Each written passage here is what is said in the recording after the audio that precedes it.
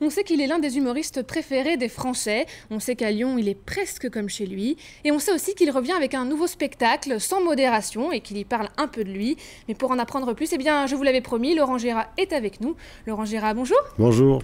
Alors euh, on sait aussi que vous allez avoir 50 euh, ans euh, cette année et que votre nouveau spectacle est un peu spécial, un peu plus intime, c'est ça? Oui, on va dire ça. Enfin, je raconte à travers quelques anecdotes qui sont des prétextes à faire des sketchs. Je raconte un petit peu des périodes de, ma vie, mais je, je parle pas. Euh, je fais beaucoup de sketchs hein, quand même. Hein. Je fais beaucoup de sketchs. Puis j'ai un orchestre formidable avec euh, six musiciens. Et euh, voilà, on on, s'amuse beaucoup.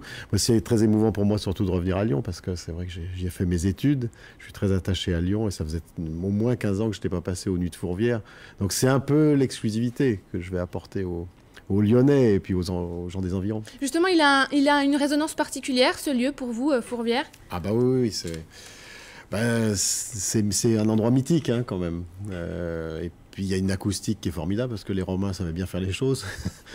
et puis j'ai beaucoup d'émotions parce que quand j'y suis passé la première fois, ça fait donc euh, quelques années, de revenir ici, effectivement pour ce spectacle pour mes 50 ans, il va y avoir une, une saveur toute particulière.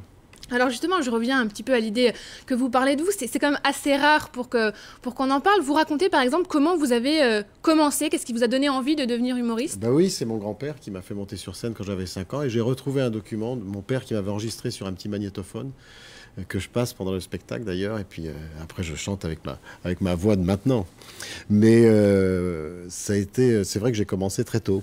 Et pourquoi vous aviez envie de partager ça euh, avec le public, vos débuts, euh, votre histoire Ça s'est fait un petit peu comme ça. J'ai dit, oh, j'ai essayé de trouver quelque chose pour lier les sketchs les uns avec les autres.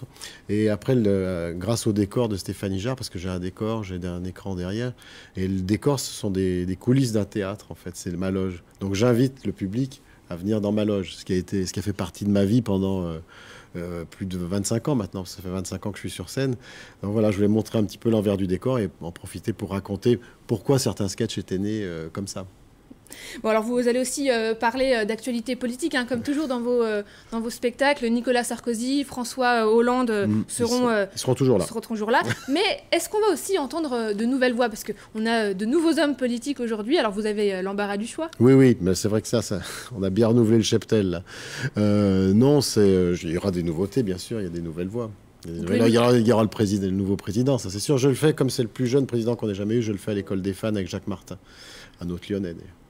Je vous remercie beaucoup. Je rappelle donc que euh, vous, êtes, vous serez à, au Fourvière pardon, euh, demain et mercredi. Merci.